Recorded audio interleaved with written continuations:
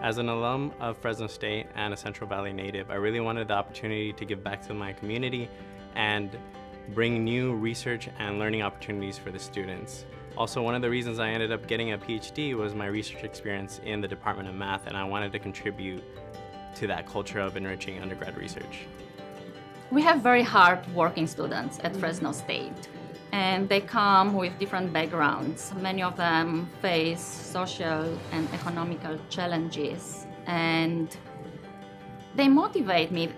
I see how hard they work. They have to, to work several hours per week to support themselves or their families, um, to cope, to pay for their tuition. And they put so much work to be able to finish their coursework and uh, graduate on time. And uh, that, that, that's something that I'm very proud of. And um, I, I really enjoy working with them. And we have so much talent at Fresno State.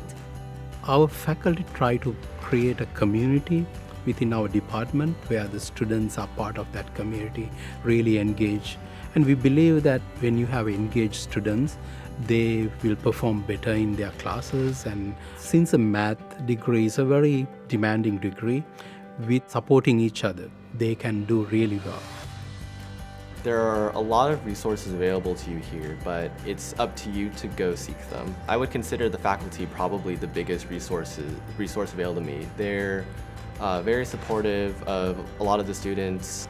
So if I didn't go out of my way to talk to professors, I don't think I would have done undergraduate research. I don't think I would have applied for a summer program, uh, a research summer program at a different university if I didn't talk to professors.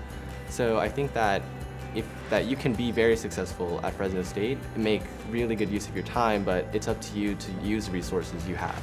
During my career, I was able to work with undergraduate students in original research projects and they have done fantastic job. Uh, many of them going to conferences and even having them as co-authors uh, for some of my uh, research papers. We have a very strong outreach program. Our faculty go into schools, they, they conduct workshops for the students from grade 3 to 12 to get them interested in math. So we, we assume that if you get our students interested in math, they will become better mathematicians in the future. And we'll have strong students in the coming to us in the future also. For me, it's it's all about the students.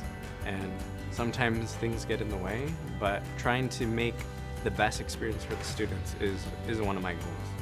It's easy to think of math as just like kind of cold, rigid, solitary experience, but math is math can be and I think it should be like a social collaborative fun environment.